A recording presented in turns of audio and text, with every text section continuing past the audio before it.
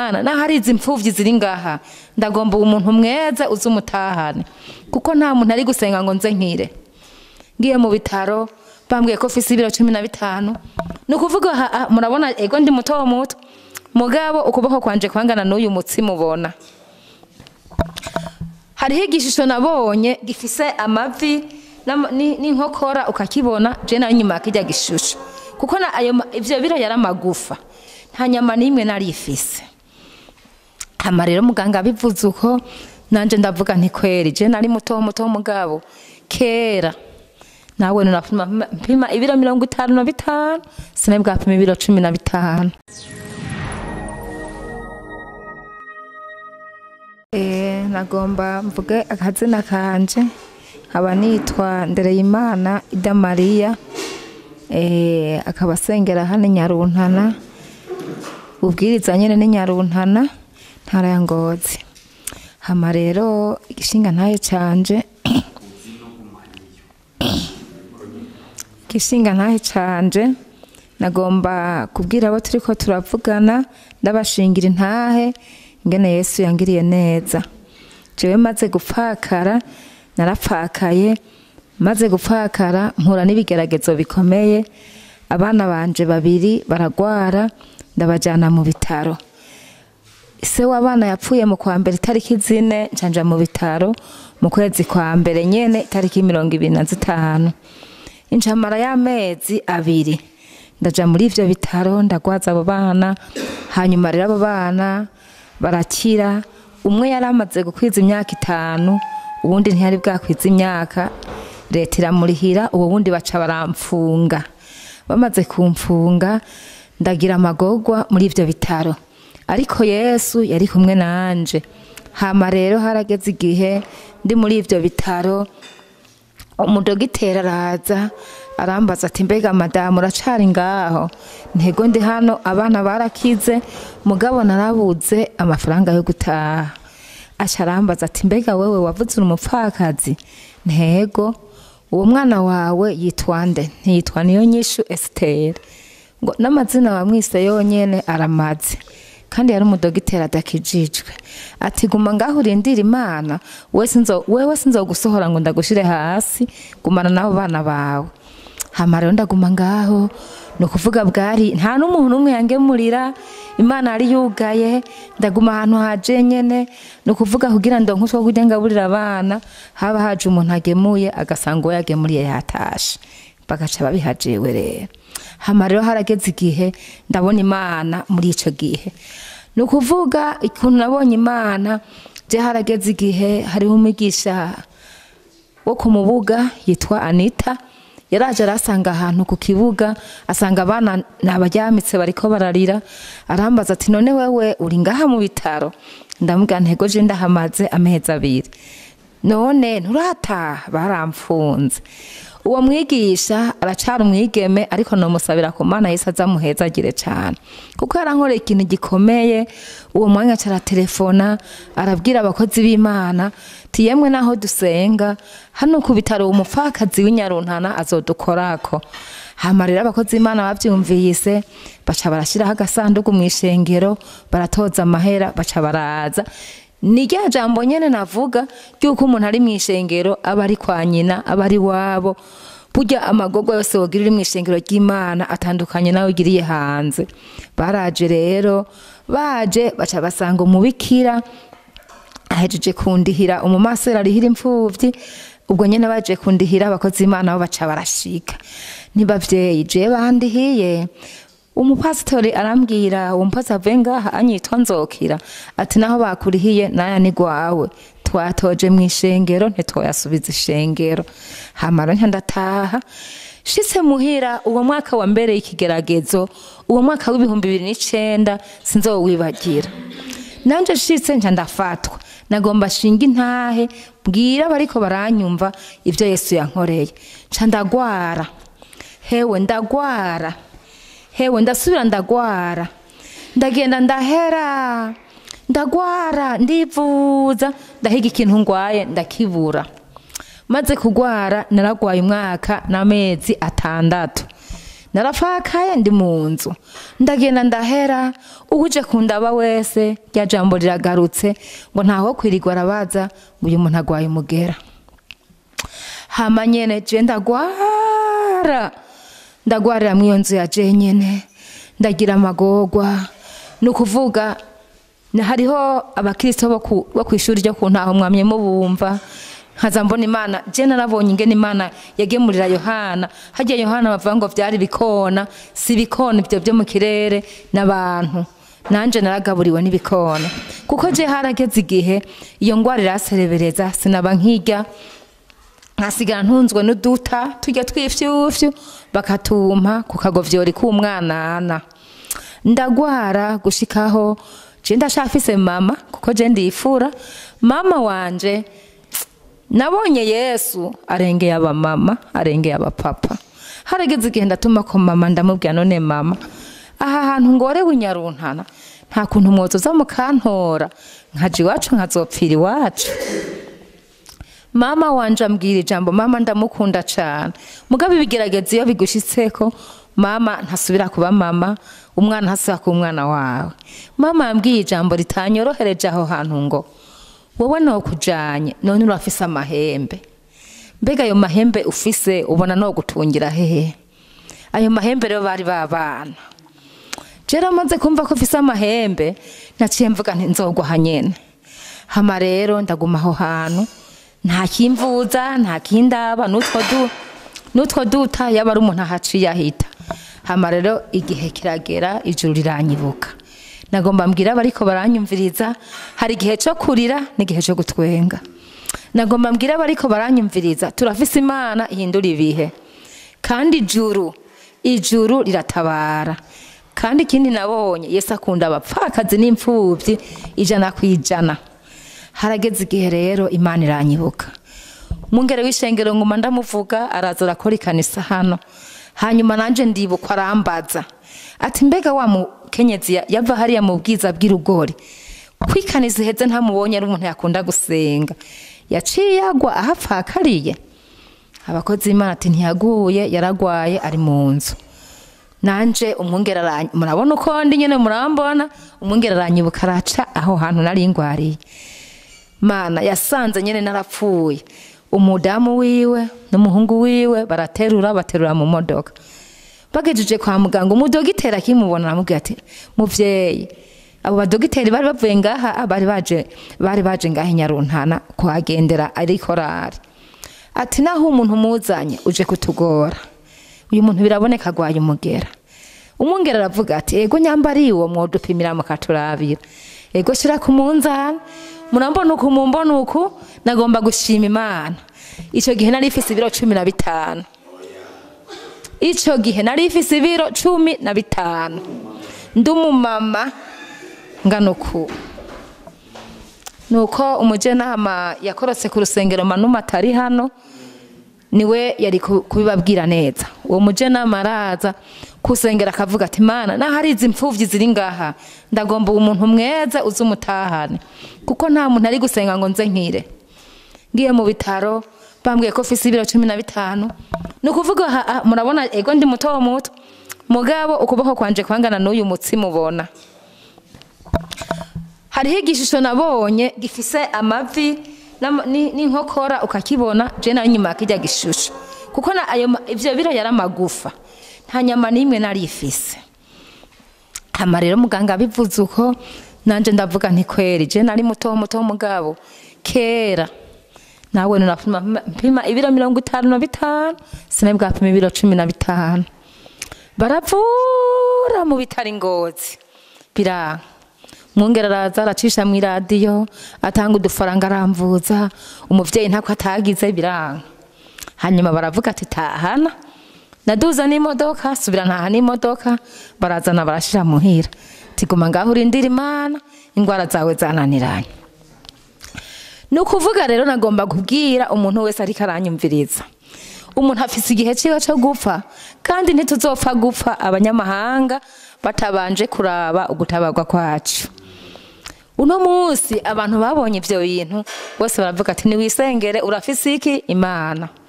Hama ndaguma ngaho muhira ndaguma ngaho abana banje je nta tongo fise ntibarima nta n'uwari bwamenye guca ingero muri bo uwukuze yari wa wundi wa mbere ni we yari afise imyaka cumi n'umwe. Ubundi bwose bwari buto buto. Ariko narabonye imana. Narabonye imana. Nujya mukenyezi aje gushima imana yarafashwe ari saa mbiri y'ijoro numva aradodoye ku rugi tinayinzaniye ibyo kurya abana. Ari saa mbiri y'ijoro. Kandi avuye ahantu hepfo kure rwose yaho nabo abo bana barabaho. Kabisa ndashima imana abo bana banje n'ubu babonye si imfubyi oyaye si imfubyi ni abana nyene b'umukuru. None se ab'umukuru nyene ntidufise umukuru w'umutegetsi. Hama ndagwara uwo mwaka n'amezi atandatu birahera. Mama wanje urumva ko yambwiye ko je mfise amahembe. Ndaguma aho hantu. Umuririmbyi yaririmbye ngo ikigeragezo kirenze ikindi kiba kirengutse. Umwaka n'amezi atandatu biheze ntanguye kwa- kwambara utuntu tw'udushesheti ngo nze ndahonyoreramwo ntanguye kuronka umubiri mushasha. Jewe nagomba kubabwira aya ma- aya ma- u- aya mantuzenya uru rusago bariko baragubaka ni ho ico gihe nari ngwaye. Mugabo umuntu wese nagomba kubwira umuntu ariko aranyumviriza ntuzireke gukorera imana ngo uragwaye. Mu mageragezwa urakorera imana. Umuntu aje akampa akantu nangwa narayibuka za mfuvyi akandi nkabahana njana ku rusengero. Kandi ndaho hantu ngwaye. Uru nagwiyemereje ngwaye. Naraje ngaha. Imana ikora igitangaza gikomeye. Baravuga ati tugomba kwiyemeza rujya rusago turukore.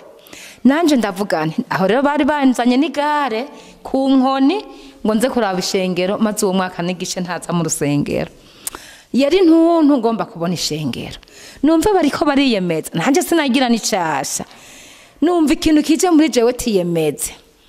Nja ndahaguruka ndagenda ndegera umukontagita wacu ndamubwira nti nanje nagomba unyandikire nje kwiyemeza. Aho rero kwiyemeza sinari umuntu nta n'iki nari umuntu nyene yaheze. Ariko imana yagomba ikora ikintu yagomba itsindisha abakomeye. Hariho abantu bari batinye kwiyemeza. Babonye mpagurutse. Ngo nyina wanyishe arinze agahaguruka. Ngo nanje ndagiye kwiyemeza. Ariko bakurikira jewe batazi icyo imana igomba ikora mvuye kwiyemeza naciye mbona umuntu asanze agakete mu, rusengero. Tandara usange hanze ikintu tuvugana. Yesu ashimwe cyane yesu ashimwe cyane we nuzi utinye kwiyemeza? Ngo urafise ibibazo. Ibibazo birafise nyenebyo ngize hanze ndamuraba uwo muntu. Kandi ari ngaha nyene. Naho uyifata ari hano mugabo ari hano. Hama aracambwira ati ikintu numvise jewe ukihaguruka uja kwiyemeza. Numvise ikintu gicumita mu mutima. Ati nje ndakurihira amahera yose wiyemeje. Yesu nashimwe cyane acambaza ati wiyemeje amahera ngaha? Je niyemeje bitanu. Ngo naho byari kuba mirongo ibiri. Ngo naca ndabiguha ubu nyene. Acampa inoti ya cumi acambwira ati genda ukure mwayo wiyemeje ucukuramwo n'ibihumbi bitatu uze gusumira agafa abana bibiri uca ubinzanira. Yesu ashimwe cyane naciye ngenda mbwira umukontagita nti jewe nta deni ngendako. Jewe nje nkuremo ideni jewe nje kuriya ni ukuvuga ba bandi nabo baciye baza kwiyemeza ngo kujya arinze agenda natwe tugende. Nabo sinzi ingene byagenze. Uwo munsi rero natashe nezerewe igituma naje n'igare imana yagomba ntinze nkore kwa rya rusago ibyo rero nkaba ndabishimiye imana. Ikindi rero nagomba gushima imana ugukira kwanje. Nta muganga n'umwe yamvuye baganga barapimya nyamugera barabura barapima igituntu barabura barapima ingwara zose za hasima barabura. Eka nta kintu na kimwe batampimye. Hama rero je shitse muhira ni ho ijoro ryaho numva indirimbo y'ijana na munani. Ndumva ngo je ndi umukristo nzokwama ndiwe mu bintu byose gushitsa gupfa. Ndavuga rero naho bigomba mba umukristo kuko je harageze igihe na mama arakijijwe arazambwa ati naho ukijijwe? Burya umuntu yaraba ahantu akubitira. Bimwe wigira ngo uriza abaririmbyi bo ku ngoma. Aho urabona ko bikaze. Ntima aha nyene imana igomba kukwiyereka uyibone nyamba utari bwayibona hama ndagumaho je ikintu nakoze maze kubona ko byose bibyase natora inkoni abantu bakaza banyandaje canza mu masengesho ja mu cumba c'amasengesho ni ho yesu yankirije. Twari dufise amasengesho kuwa kabiri ya saa cenda saa cenda sinasiba. Ico gihe sinavuga umunota wose. Ico gihe sinatera ikorasi ngo mara igitero. Icyo gihe ndaheba korare kuko sinavuga impwemu ngo zitubuze. Hama rero jewe mwayo masengesho ntumbaze ngo nakize gute uko ntamenye ingene nagwaye niko ntamenye n'umunsi nakiriyeko. Nagiye nza numva senga nkumva ndahejeje gusenga. Za mpwemu zigacurama nagiranya nkaririmba nkumva indirimbo iraheze nanje nkumva ndayimaze. Inca nkiriramwo buke buke nkiramwo buke ndavuga nti none mana. Hamwe wonkiza. Nkasubira nkakomera. No gukorera iki? Nca nibuka ijambo ry'imana ingene yisaka ingene ntuzenya aburahamu yatanze yisaka kw'ikimazi amufise aruma nanje ndavuga nti je nta mwana nzotanga. Mugabo ndafise umwambaro umwe w'iniro. Ndafise umwambaro umwe nanje ugereranywa na isaka. Uwo mwambaro nzowutanga mana niwankiza nkasubira nanje nkagukorera nkasimba ibiti n'amabuye. Kandi nyene yesu ashimwe cyane niwasezerana uzushitse. Wa mwambaro nkize nawe usize mu- mwishashi ndawuzana kandi wari umwe ndawuzana ndawutanga ndashikiza abakozi b'imana ndashitse icyo nasezeranye. Rero satani nk'ibikora carangagumba ati naho ubikoze wowe ugiye kuzoheba gusenga urabona ko utagira impuzu urabona ko atawuzozi kugurira ubwo n'ubujuju we wakoresheje. Hama rero ndavuga nti yesu afise impuzu nyinshi. Ni ukuvuga nagomba gushima imana. Imana ijambo ryawe rivuga ngo n'amashugwe irayambika. Nta minsi myinshi yahaciye nta mwaka wahaciye uwo munsi imana inkorera igitangaza gikomeye cyane. Ndagenda kwa mama mama acambwira ati e murakoze kuza. Ehe ndaguha agatenge nari nateguye nzohugabira narabonye ko ata mpuzu usigaye ufise. Hmm, urakoze cyane. Hanyuma nyene shitse ino numva amasenga arantumye ko ati nagomba ndaguha agatenge. Niyumvire ko atagatenge ugifise. Ibibaye imyambaro ibiri. Uwundi mudamu w'ahantu hitwa irutegama mbona nzaniye ikindi gitenge n'umupira. Ati rero nari ndakuzaniye agatenge uze wambare. Yesu nashimwe cyane ca ndapfukama nshitse muhira. Ndapfukama ndabura uko nifata. Ndatangara. Nibi byose gahemwe ibi nyene ibi bitenge byose ni gwanje nshamvuga ijambo nti yesu ndagushimiye ko nyambitse. Mugabo reka rero nanje ndagutegeke kandi azi ko uzobikora. Izi mpuzu mpaye ndagomba uwundi munsi uzumpa ico nicaguriye mu mangazini yesu nashimye cyane ni ukuvuga maze gusenga iryo sengesho mva nashimye ibyo bankuriye maze gusenga iryo sengesho nta mezi atatu yaheze ntaruciye ndonka igitenge gishasha nicaguriye mu mangazini nyene. Nagomba rero shima imana mbwira abariko baranyumviriza. Kuva ico gihe gushika no munsi jewe sinja mu mangazini kubaza ngo igitenge nangahe? Kandi ndambara tenge ndambara iniro nkambara. Uwo yatwishinze si umubeshi yabonye hageze aranyambika. Uno munsi nitwa umusirimu. Kuko namenye yesu. Nanje uno munsi no kwambika abandi. Narigeze no gushima imana ndavuga nti ubu nta woci wanje yanyagiwe ngo atahe yambaye izo yanyagirana nomuha ikindi agenda yambaye ikinyagiwe akagisiga ngaho hama rero jewe igishinga nahe vyanje nakubwiye ko ari byinshi cyane maze gukira rero iyo ngwara nkabona irikira iragenda buke buke cya kigeragezo gihetse ikindi ni ho rero naza mbona uwo muntu yarampaye indaro mbona araje avuga ati mvira mu nzu. Kandi ibyo byabaye umwaka uyu yemwe hari umwaka ukubera umugisha n'umwaka ukubera igeragezo. Ariko muri byose uze wamushima imana. Hama rero maze gusohoka nkaba hanze ndabona rero ko hari ibindi bintu bibaye umva ko ntari bwakire neza umengo nariko ndaja ku biro mirongo itatu cumi na bitanu nabivuyeko nari ngeze ku biro mirongo itatu. Ca mba hanze kuvuga bavuga yuko aho hantu ndi ariho ha- hafi nari nzogira. Umukozi w'imana imana imumpezagirire cane mwarimu yitwa erike wo ku mubuga yaraje iwanje aje asanga ahantu ndi mu gitoke naravunze nk'imyumbati naranyagiwe uwo mukozi w'imana araturikisha ararira aravuga ati none aha hantu no gukorera iki? Uwo mukozi w'imana uwo mwarimu erike ndacibuka amajambo yambwiye kandi name ndayagendera. Yambwiye taha ahantu ugeze nutasara nutasara canke ngo ugware hahamuka inyuma y'ibi uzoheza gikwa ariko sinumva yuko umengo novyizera ivyo bintu ambwiye kuko nabona ko ata bindi bizoza inyuma y'ivyo. Umukozi maca nkura aho hantu aranjana arantembereza arambaza ati none nk'ubu ikintu umuntu yogukorera aho hantu ugeze ni giki?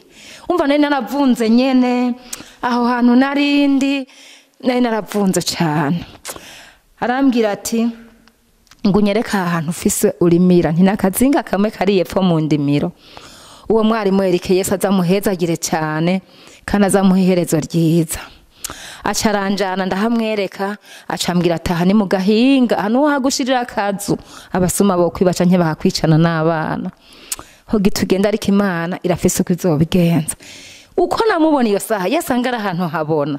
Nyamba yaca yubaka iminsi ibiri. Nyamba yarara mugana narabonye ko ababaranye nanje. Hanyuma rero umwarimu arandemesha aranyagisha. Hanyuma arataha ariko icyo nabonye yagiye gusenga imana. Kuko nta ndwi yaheze imana itishyuye. Yemwe yesu aradukunda cyane naho wabona umenga ibyawe ntawe ubibabaye yesu arabibabara. Hama rero ni ho nagira nka nza mbona umukozi w'imana araja arambwira ati ijuru ryagutabaye. Twabonye umuntu avuga ko yoguha indaro. Hoho nawe yesu uri nyishu. Maze kumva aho hantu. Nagomba kubabwira yuko jengeze mu iyo nzu y'uwo muntu yari impaye iyo ndaro yahampaye indaro amezi atatu. Narabuze uko nifata ndugurura ndaja muri saro ndatamba ndaja mu kindi cumba iyo nzu yari ifise umenga ivyumba bitandatu ndatamba ndapfukama ndabura uko nifata hari akantu aho tuzoshikira mu ijuru hoho. Hama ndasenga ndaryama ndabona iyo mana intabaye yankijije ikankura mu bitaro ikangaburira abana. Ndafise umwana yitwa niyo nyishu nawe imana yamumpaye kwinyishu nyene. Haragera igihe ababonye bagiye kurara ubusa rimwe kabiri umunsi umwe arabwira abakuru we ngo mukuru we umwe yitwa kwizera atariko kwize. Kubabaye ngo mbega ntituriye. Uribagiye ko yesu yagiye kudusumira. Niwihangane yesu yagiye kudusumira. Nanje navyumvisha amatwi nari narahwereye cyane umwana amaze kuvuga iryo jambo yemwe bantu muriko murumviriza igishinga ntahe mufise abana nkanje niwumva umwana avutse burya azobavugishijwe. Ni ukuvuga ba bana ntibe- ntibemeye ibyo babwiye je nanje ibyo sinari ndabinezwe ntaco nari ndabinezweko? Ca ndiryamira. Ariko bukeye. Hari mu kwezi kwa kane mazi ukwezi kwa kane ho kugoye. Nza mbona imvura yirijeko nkasambona nimbona umupasitori yitwa Frederico araje n'umudamu wiwe. Barahamagara. Baje sinenzi ko imana ibarungitse ngo baze gushigikira kwa kwizera kwa nyishu bwabaye ubwa mbere mbona uwo mupaseri wanje kugeza n'uno munsi ntaragaruka. Umva ha- yari ifise intumbero imana imuzaniye. Hama rero abana arabaramutsa abakozi b'imana arasuye kubivuga ubabonye uzobonye imana. Imana nta handi hantu ica imana ica mu bakozi b'imana. Amajambo yose yasenze yatura kuri jewe yose yagiye ambako gushika n'uno munsi. Hama rero abana barabazanira utwo barya baraduha n'amahera nuko yabire ngo turamaze iminsi ibiri tutarya. Imana igomba idushanjure ntidusubire kurya imikubi ejo tuzorya umuceri. Nuko nyene vyagenze bariye umuceri n'ibiharage imana ishigikira kwizera k'uwo mwana nyishu ivyo nguma ndabibona ndabibona. Nayo nivyo bishinga ntahe nagomba gushingira intahe imana. Ivyo iwanje sinobidondora ngo ndabimare. Naho koba kane naho koba gatanu noza mvuga gace. Ikindi si gushima imana aba bantu bose bano bumva ndashimiye imana yateguye integuro nimuyimpera amashi yemwe. Yesu nabahezagire cyane kuko nari narabyipfuje rwose. Burya maze kubyumva numva ntari kuryama nanjye ntashinze intahe. Kuko intahe kera hose zarubaka. Nanjye naho rasoma amajwi. Hariho amajwi bahora baturungikira kera.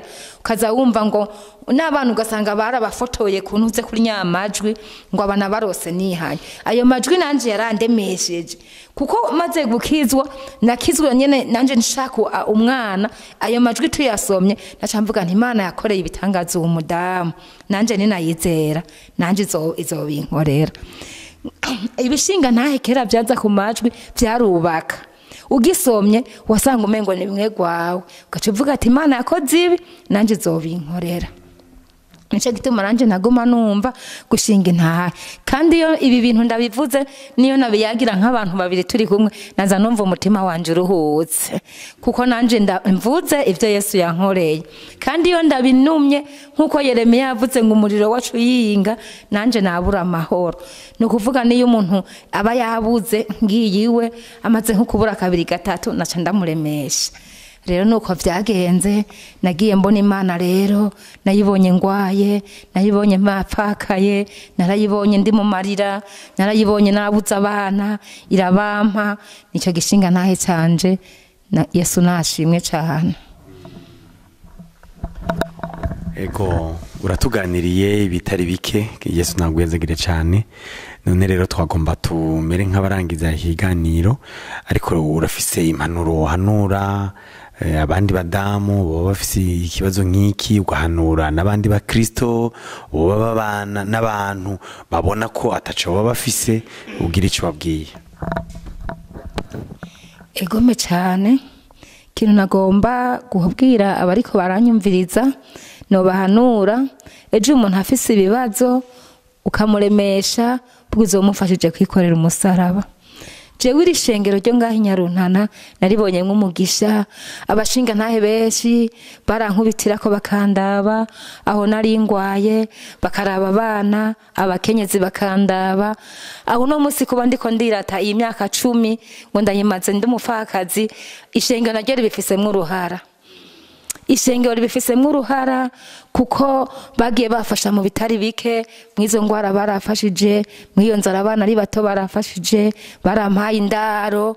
Ico yesu ya- yavuze ngo mwarampaye indaro mwarangaburiye iri shengero ryo ngaho nta na kimwe nanje batankoreye. Yesu ntabahezagire cyane. Rero uwo mutima w'urukundo umuntu wese ari mu ishengero numva nomusabira ko yozowugumana kuko iyo ukoze ibyiza birakugarukako kuko n'abo bana barabameye imbuto ejo bazokura ari abana bakuriye mu ishengero bumva bakunze ishengero kuko bakuze babona ko ishengero ribitayeho. Nuno munsi umwana agwaye cyangwa je nkagwara ishengero riradukubitirako uwo duhwanya akavuga ati tora igihumbi nyamba ufise mituweli ujana uwo mwana kwa muganga. Wa mwana akabona ati ndi mu ishengero nta mwana wanje abona ko ari imfuvyi barabona ko bari iwabo kuko bari mu ishengero nohanura rero abantu gukora iciza kuko urumva ko iciza naco kitibagirana. Yesu nashimwe cyane turagushimiye mwami wacu yesu kirisito ndongeye kugushimiye isaha na kano kanya mana. Nariko ndavuga bikuru wankoreye nariko ndavuga ko nakubonye ngwaye nariko ndavuga ko nakubonye ngowe nariko ndavuga ibitangaza nabonye mu ishengero mu izina rya yesu kirisito none iyi saha mana iki gishinga nta bazocumva bose. Nabo bazikize kibubake. Hariho benshi bari mu bitaro hariho abageze ku ivyo biro cumi na bitanu mwami. Ariko uno munsi ngeze ku mirongo itanu na kimwe mu izina rya yesu. Abo nabo wobagirira neza. Ukabakura hajya ahantu bari. Mabo bazogushingira intahe turabasengeye bamwe bari kuri wa karedi bujumbura turasengeye bamwe bari ngozi kuri hopitari hirya no hino hose mwami nabo nubagendera ubaremeshe uzoba ukoze urukundo rwawe rwandagare hose. Mu izina ryawe gera yesu. Amen.